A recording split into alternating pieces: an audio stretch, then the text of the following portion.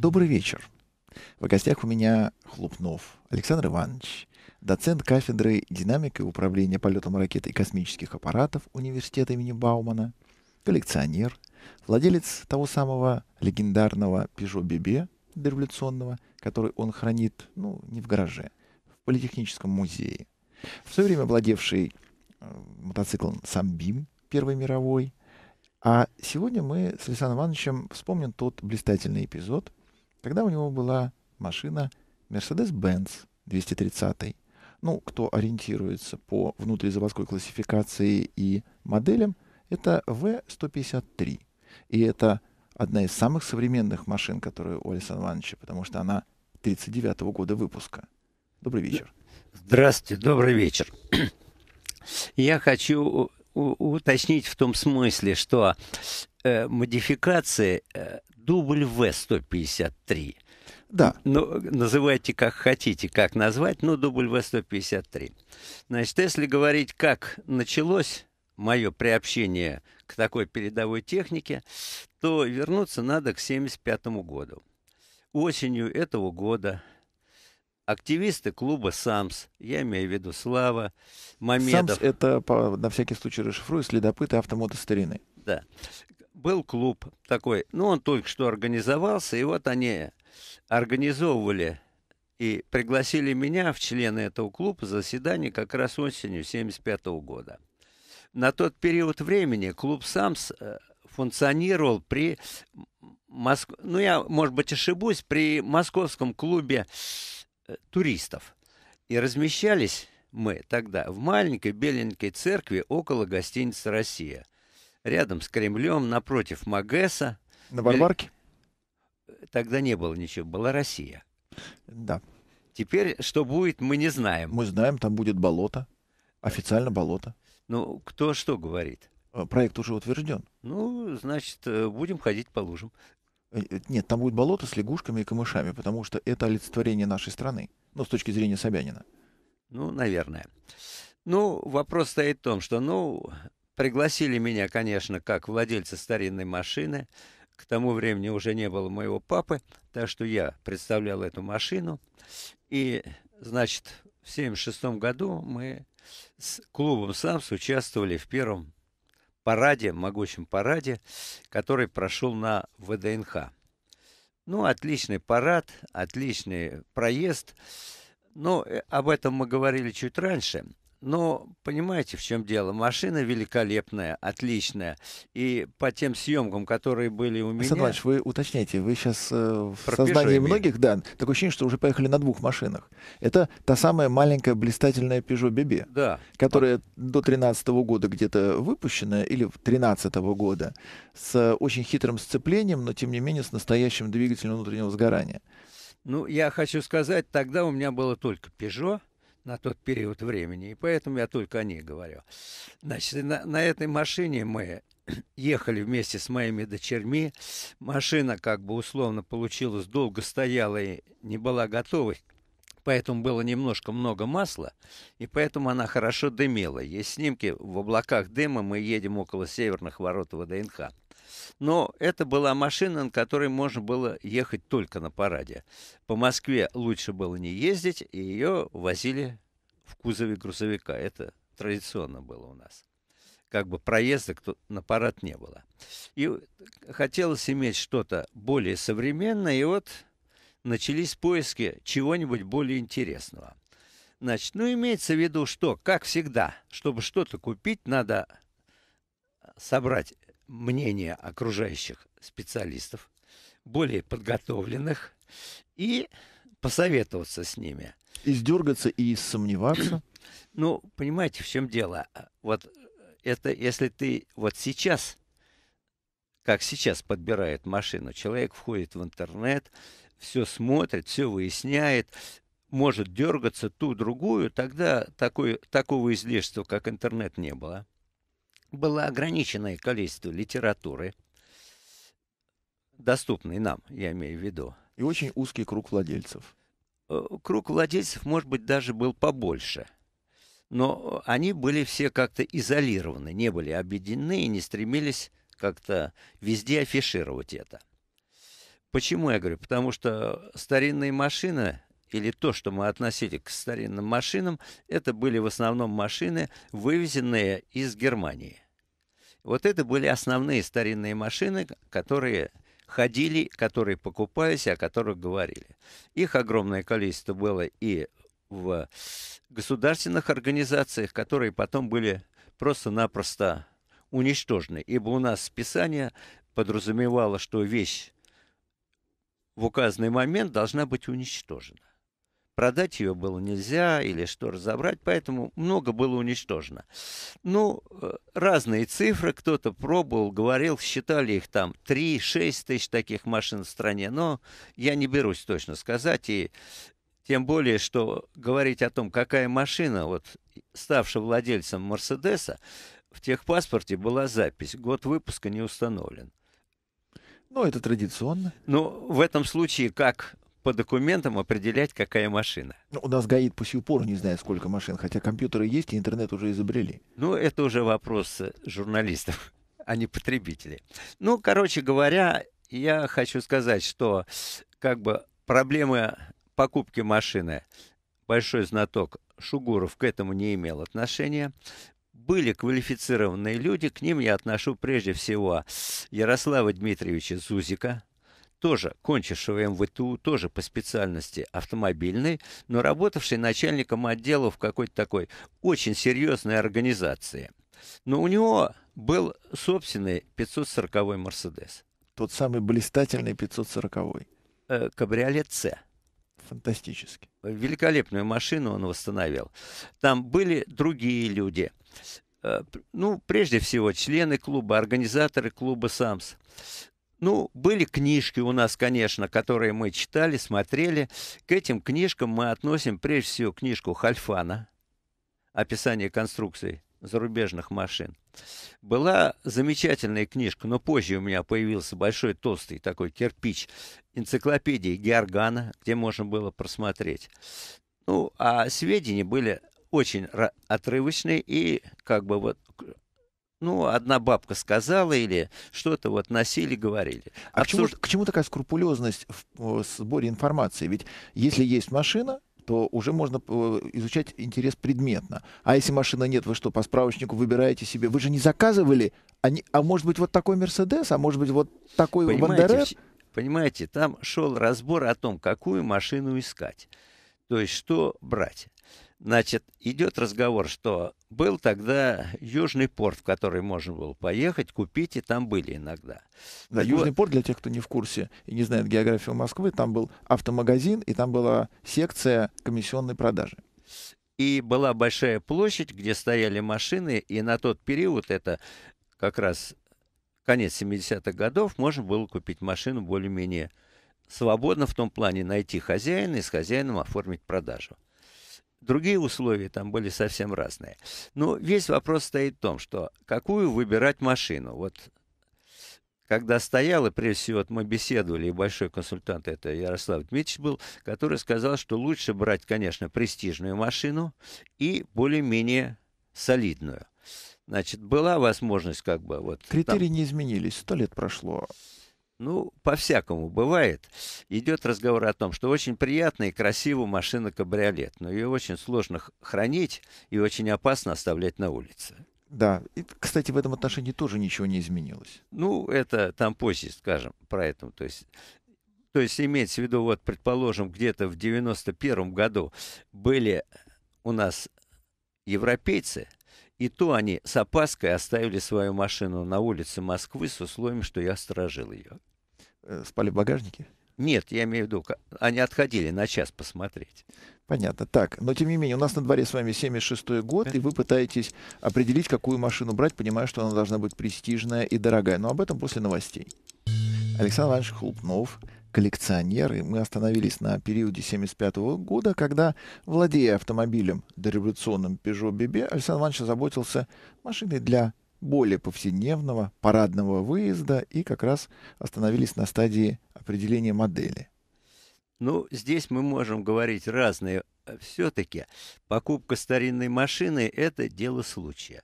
Потому что э, такой большой информации не было. То есть не было того, что вот называем сайт Авито, я назову, или другой, как сейчас.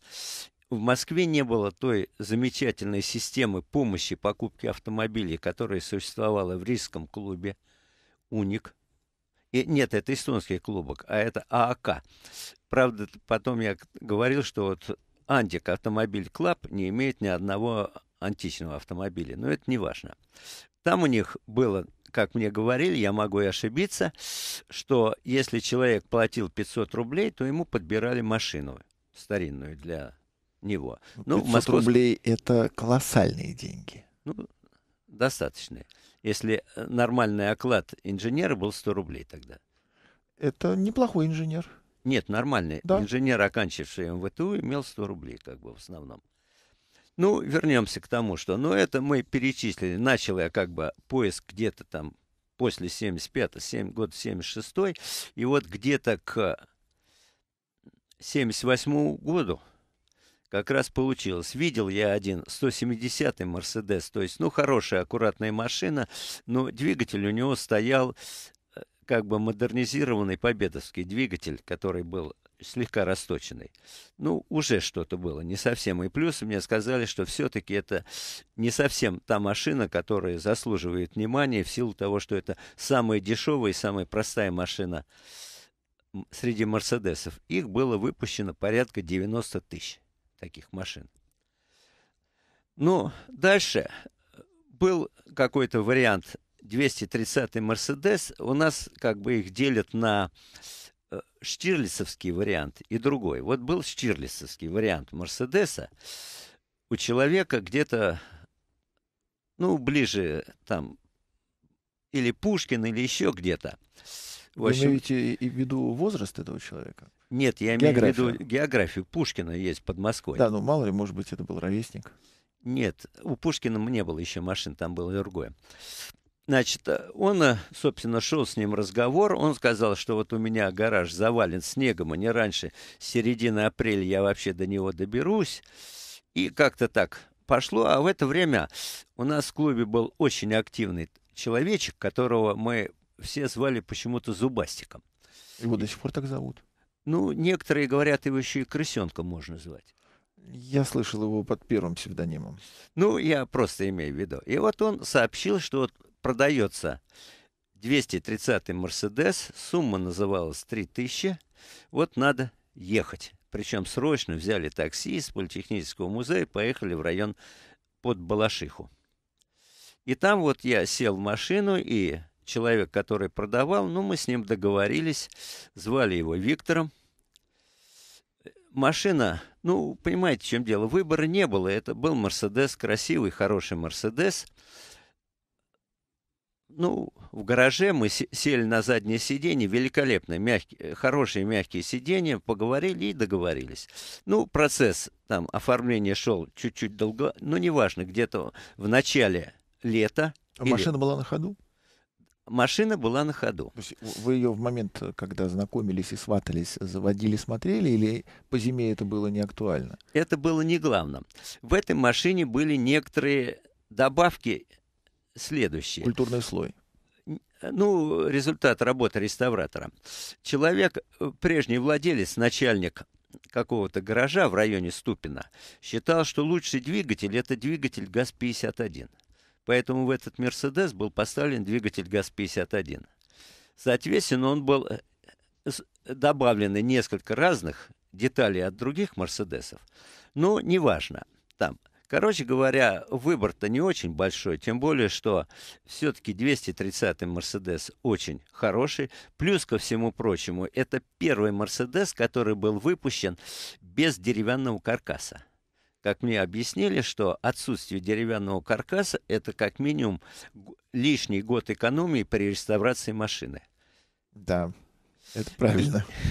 И следующее, что потом, когда там взял машину, стал смотреть более подробно, что это была машина, как бы перспективная модель, которую сделала фирма Mercedes в 1938 году, провела большие исследования, испытания и планировала перейти на эту модель в дальнейшем для производства.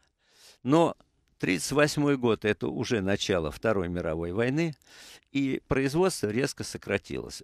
И общий объем этой выпуска этой машины составил всего 4 тысячи. Одна досталась вам, вторая Штирлицу, остальные в вермахте. Нет, у Штирлица не было такой. Штирлиц ездил на другой. У него были колеса в крыльях, а у меня не было.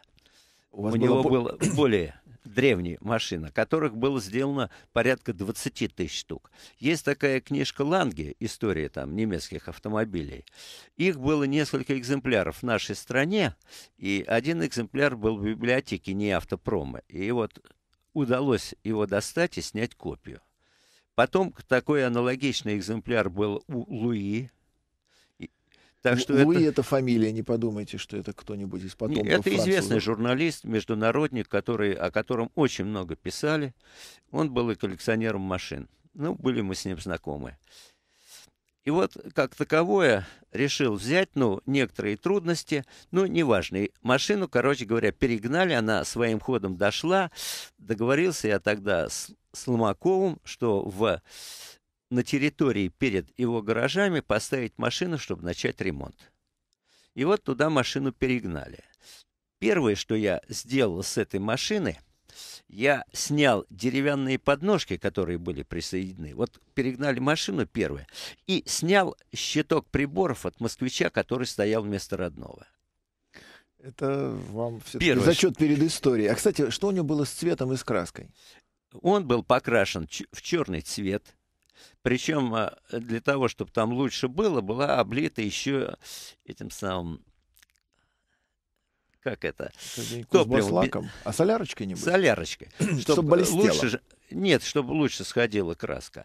При дальнейшем разборе, так, в крыльях были дырки приблизительно диаметров сантиметров 20 с чем-то. Не от снарядов? Нет, нет. Коррозия. Коррозия. Дальше. Для того, чтобы как бы крылья держали форму, известно, что полагается проволоку закатывать в край. Ну, товарищ не закатывал проволоку, он взял 10-миллиметровую проволоку и приварил к краю. Ну, на автобазе так принято. Ну, короче говоря, э, вот там потом, ну, поставили Слово машину. вандализм вы не произносите. Вы не, просто... Это творческая реставрация. Да, это вы просто констатируете диагноз. Да.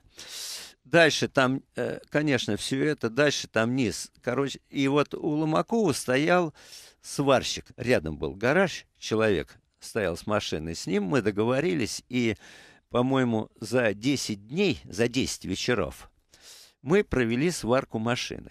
То есть это было летом, я был в отпуске. Летом, э, я день, днем готовил к сварке, он вечером приходил, и мы варили. И вот за 10 дней мы как бы основную сварку машины сделали. А под ней еще тоже были дырки? Там, понимаете, чем дело? Ну, машина-то рамная была. Нет? Она рамная, так что это не главное. Дырки были, но это не самое главное. Там было много ржавчины. Короче говоря, но по счастью, двери не были ржавые. Значит, по совету Ломакова мы просто взяли ржавчину, отрезали и привалили железку. Поэтому там чуть-чуть ниже стало. Там багажничек еще Э, крылья пришлось там просто отрезать полоску порядка 5-6 сантиметров и приваривать новую. А железку-то от кого брали донорскую? Просто какая? Железки, просто железо. Просто некое железо. Простое железо. То есть вот сварщик находил железо, и вот в течение 10 вечеров мы машину сварили. И это как бы было первое начало нашей деятельности по подготовке машины к дальнейшему. Дальнейшее, чтобы машина была, ее надо было покрасить. Значит, ну, ничего, кроме как ножа, которым можно было ободрать краску, у меня не было. Значит, с помощью ножа я ободрал краску. До металла. Крас до металла, разумеется, красил потом быстро грунтовкой, там PF081, вот эта вот грунтовка. Некоторые места, где товарищи очень хорошо боролись шпаклевкой, ее пришлось выжигать. Потому что от, отодрать шпаклевку толщиной порядка сантиметра было просто невозможно. А родной цвет машины установить удалось? Э, это не безнадежно было. То есть что там под капотом было тоже непонятно, не установим. Нет. Перерыв на новости. Александр Иванович Хлупнов История 1978 года о том, как уже был куплен Mercedes модель W153, он же 230, за несусветные 3000 рублей, и началась его реставрация. Ну, что я могу сказать про машину? Вот стоит машина, короче говоря, двигатель вынут, нового еще нету. Потому что ГАЗ-51 иметь бесцельно. Причем, причем особенно состоит в том, что если взять двигатель Мерседеса, то у него относительно небольшой диаметр маховика – Рама у него была X-образная, так что как раз вот сужающийся час, где помещается маховик, родного двигателя помещалось. У ГАЗ-51 маховик намного больше, поэтому двигатель был поставлен с противоположным наклоном не перед выше, а зад выше. Так что... Э, а, а коробка как? А коробка была задрана, и коленвал терся о пол машины, который разогревался аж до красноты. Вот так она ехала. Это не далеко и ненадолго. Ну, ездила. По крайней ну, мере, ползала, да. По крайней мере, из Балашихи в Москву она приехала. Ну, неважно. Дальше, что было а, еще я хочу сказать. Вот было отодрано, было сделано крылья, заменено, что можно. Но очень сильно пострадала там передняя часть крыльев, там ближе к капоту. И не к капоту, а к радиатору. Там по существу были наложены слои сварок 4 или 5 слоев друг на друга. Так что это более чем безнадежно чинить. Эти дырки заделывались, вваривался кусок железа, а потом он вручную выбивался на песке, чтобы сделать круглую часть. Дальше, в чем особенность этой машины была по сравнению со всеми остальными, я такого не встречал. Просто обычный Мерседес. У всех радостно э, аккумулятор стоял под сиденьем. У этой машины вы поднимаете капот, и было два ящика в капотном пространстве. Один для аккумулятора, второй ящик для инструмента. Так что вы могли ремонтировать машину рядышком, взяв ключ, и не надо бегать куда-то еще. То есть, если по географии сориентироваться, это над коленками водителя и пассажира? Впереди. Да, над коленками, но впереди. Потому что там посадка намного дальше на, на, не коленки, а скорее над ступнями. Значит, но в отличие от э, других Мерседесов, у него уже не было кры, э, э, колес в крыльях и не поднимался капот как бы половинка из двух частей, а он был разделен. Верхняя часть поднималась, а боковинка с щелями была закреплена постоянно. То есть аллигаторного типа? Ну, называйте аллигатором, но из двух частей. Аллигатор обычно все поднимается. А, то есть это было все-таки две половинки? Две половинки. Просто они без боковин поднимались? Да. И причем, ко всему прочему, запирались они, изнутри была ручка. Значит, ну, машина была, собственно, ободрана, покрашена, и большую часть... Из краскопульта? Нет, кисточкой. Вот так вот э, реставрируются Мерседесы под открытым небом в 1977 да. году в городе Москве. Да. Значит, и вот то, что я покрасил ее, имеется в виду, грунтовкой, потом краской, это, честно говоря, вот когда я расставался с ней уже там 97-98 год, краска спокойно сохранилась, нигде не полезла, не порыпалась, все стояло, все нормально. Значит, что получилось? Там не хватало что-то. Я, когда поставил крылья, то низ под крыльями покрасил только грунтовкой. По весне там оказалась ржавчина. Его грунтовка не может сохранить. Ржа... От воды, влаги защитить. Она обеспечивает связь со следующей краской. А вот следующая краска дает защиту от этого. Ну, это просто. Значит, машина была как бы сделана в каком плане? Значит, мы говорим, получили от э, сварили. Значит, после этого, конечно, там у Ломакова она не могла стоять. А с мотором-то что? Мотор был вынут. И? Был, были, дальше мне были даны кучкой два или три двигателя. Мерседесовских? И, да, 230-х. И с ними надо было что-то делать. Собрать один? Да. Нормальная ремонтная автобатовская работа. Да, если учесть, там потом поговорим чуть-чуть о том, как собрать. Короче говоря, потом было решено, что чтобы его ремонтировать, надо перевозить домой. Значит, ну, договорились, прицепили к грузовику, довезли и поставили напротив дома. Жил я на улице Молдогуловой, вот напротив меня был поставлен эта машина. Значит, она как бы была закрытая, все закрыто, и сверху был еще брезент И ремонт проводился как? Ты выходишь из дома, открываешь брезент, открываешь машину, что нужно делаешь, потом все закрываешь снова. Потому что иначе нельзя. То Нормальная есть... жизнь советского автомобилиста. То И тем более был так. еще брезент, это же роскошь. Ну, вот я могу сказать только одно, что мне дал брезент приятель. Я им пользовался, по-моему, два года. Потом, когда я ему отдал этот брезент, вернул обратно, у него на следующую ночь его украли. Так тоже бывает. Ну вот, такие вещи. Но неважно. Дальше вопрос стоял о том, что была энная кучка двигателей. Но они гуляли там. Был гараж у меня на Каховке, там они стояли. Э, но вот двигатели Мерседеса практически были одного габарита. Это Мерседес 200 и две вари... два варианта 230-х. Но все и имеется в виду Штирлицевский вариант и мой. Но все они отличались между собой, хотя основные посадочные места были одинаковые. Дальше. Крепление у них было разное. Причем вот у предыдущей модификации 230-го у них рама такая пространственная, расширяется к середине и дальше. У меня, наоборот, сужается их сообразная.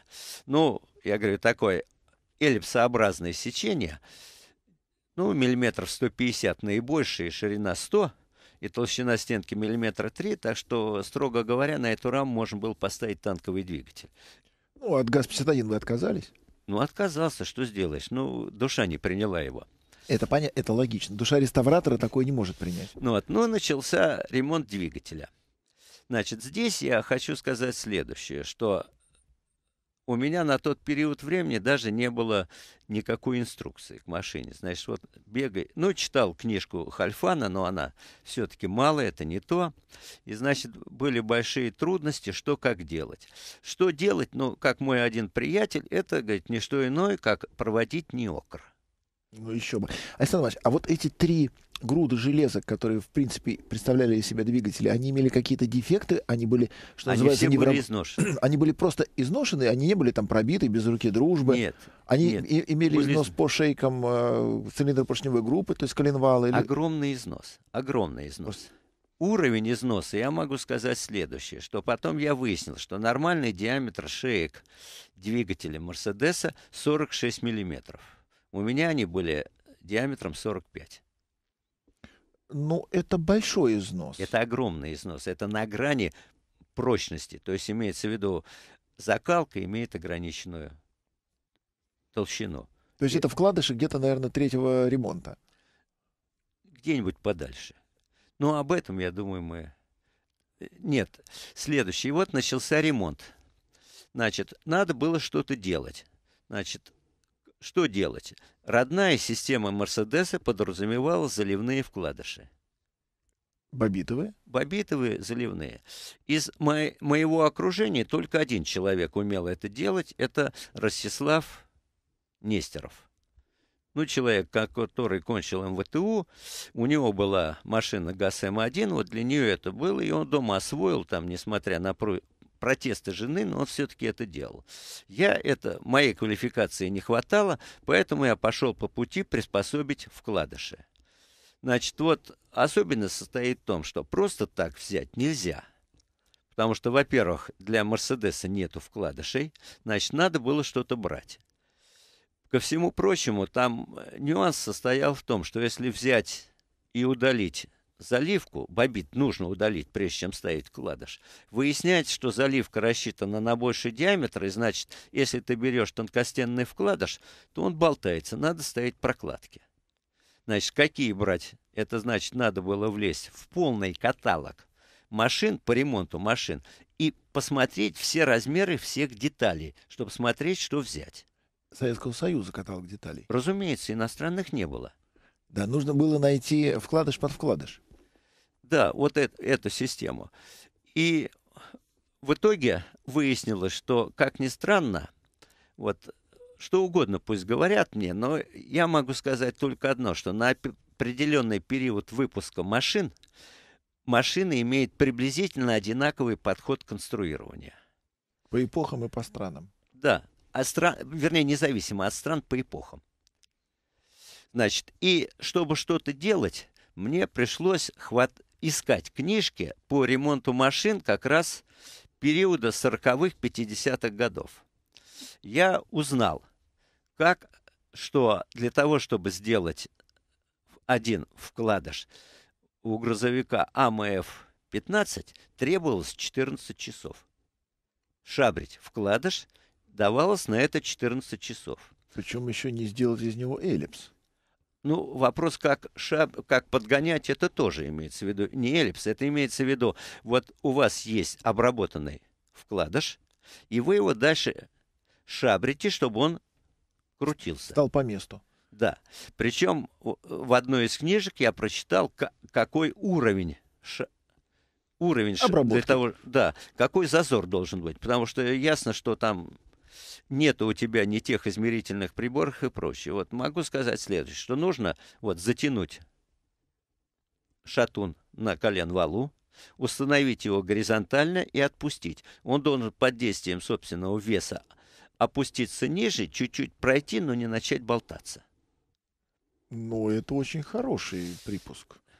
Это, это а, совсем хорошо. Ну вот имеется в виду, это требование ша шабрить. Именно так нужно было. Ювелирная делать. работа. Дальше.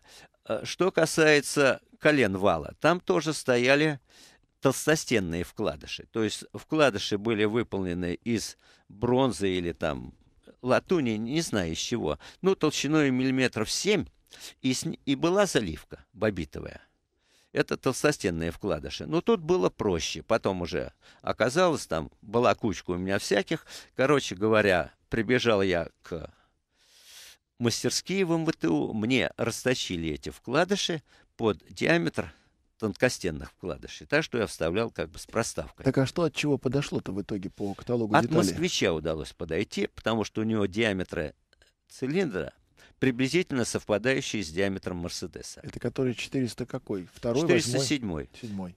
То есть там по размерам идет разговор так, что принципиально, если не растачивать, то можно было от 402 брать ремонтные. А если расточить, то э, чуть-чуть уменьшить от 407. Ну, зато поплотнее получится. Ну, мощь, больший объем, побольше мощность. Замечательно. Но э, бич был этой машины в том, что она была шестицилиндровая. Если вы подходите, берете москвичевский комплект, он 4, значит, бега и или два комплекта, или где-то еще еще. Перерыв на новости.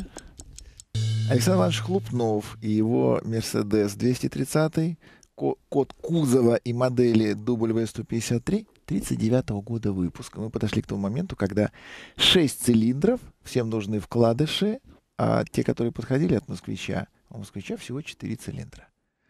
Ну, значит, надо было покупать или два комплекта, или же, вот мне повезло как-то, когда я ставил от москвича поршни в один из блоков, э, а, продавались отдельные поршни где-то в районе Болшева, и приятель купил для меня два недостающих поршня. То есть не надо было второй комплект. А достать любой комплект запасной тогда было очень и очень трудно. Причем имеется в виду, что если вы берете изношенный двигатель, то цилиндр надо приводить в порядок. Значит, единственный метод или растачивать, или ханинговать. А блок из чего был? Чугунина? Чугунный блок. Ну, были варианты и когда гильзованный, но в основном чугунный. Значит, или идти отда отдавать куда-то расточить, или, если немного, ханинговать. Ну, мне пришлось дома ханинговать. То есть я дома это делал сам. Чем? Ну, очень просто. Есть хон, есть дрель. Значит, ставился хон на дрель, вставал над, на стул над двигателем и поднимал, опускал. Изображал из себя станок. Да. Трудность была в том, что ты не мог много э, налить керосина для работы, потому что если налить чуть-чуть много, то вся комната будет испорчена. А на сухую такие вещи не делаются? Нельзя делать на сухую. Обязательно смазка должна быть. Но это некоторые трудности, которые удалось как бы сделать. Значит, я могу сказать следующее. Ну, вот делал я, короче говоря, зиму или еще что-то, двигатель.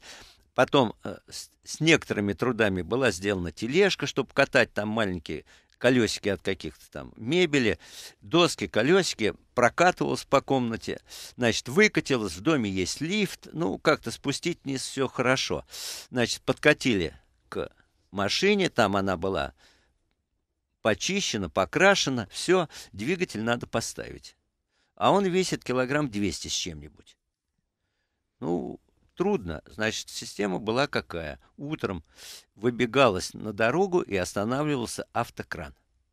И с помощью автокрана подцеплялся и ставился двигатель на место в машину. То есть вот так несколько раз При неполной разборке подкапотного пространства, потому что просто Нет, так его не поставишь. разборка, Там нужно было разметать, на самом деле, всю машину. Все, все, убиралось, все имеется в виду. А с коробкой что было? А коробку потом присоединить. Можно было к двигателю Ну, вас или так- потом присоединить. Ведь э, коробка же была тоже в паре от 51-го газона, или э, она была родная все эти годы? Родная коробка.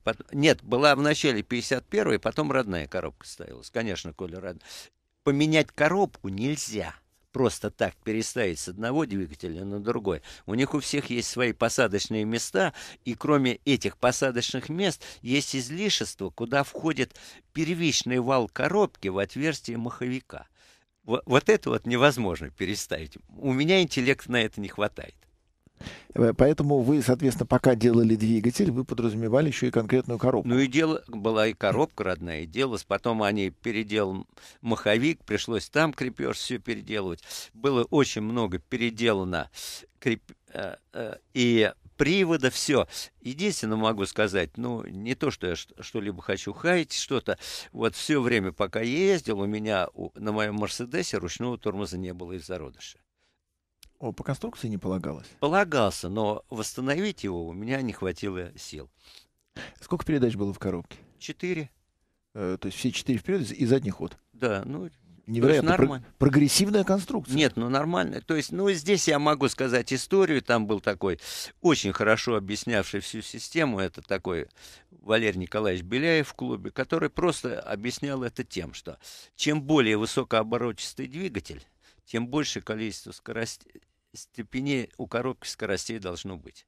Низкооборотистые могли иметь, вот американцы имели большие двигатели, низкооборотистые, у них было мало скоростей. Европейцы имели двигатели меньшей мощно, меньшего объема, значит, более высокооборотистые и должны были иметь большее количество скоростей. А Применительно к машине 39 года высокооборотистый двигатель это сколько? Под 4000 она крутила. Э, То есть как э, с- то, что сейчас уже высокооборотистым мотором не называется. Ну, э, времена меняются, но, извините меня, и сейчас не- не 4 ступени, а норовят иметь 5, 6 и больше. Ну, там уже 8-9 есть. Да, так что все это объясняется. Там, ну, можно говорить, что есть так называемая э, характеристика двигателя более или менее широкая, и условия, где достаточно крутящие моменты, вот диапазон. Почему на дизельных двигателях нужно иметь большее количество скоростей, передач? Ну, это лучше о теории поговорить особо. Э, Доцент кафедры только что руками изобразил полку крутящего момента. Это так, для тех, кто не видит нас. Но дальше идет разговор, что пришлось заниматься и полностью приборами. Именно родная система подразумевает 6-вольтовые приборы. Так что, чтобы что-то сделать, пришлось где-то добавлять какие-нибудь внутренности от 12-вольтовых приборов наших, чтобы выглядело внешне все хорошо, а прибор мог работать. Но у вас вся система была переведена на 12 На вольт? 12 вольт. То есть на наш аккумулятор, на современный уже. Да, потому что 6-вольтовый, ну, можно достать, но ничего хорошего нету. Тяжело. И потом, ко всему прочему, вот система состоит в том, что мощность аккумулятора является основой, необходимой для, вернее, емкости, для того, чтобы работал стартер. А чем выше напряжение, тем можно большую мощность привести к стартеру. И поэтому, когда мы взяли обычный 6-вольтовый стартер, но отпитали от 12 вольт, проблемы запуска вообще у нас не было. Он крутил что угодно. Машина была, в принципе, немножко электромобилем.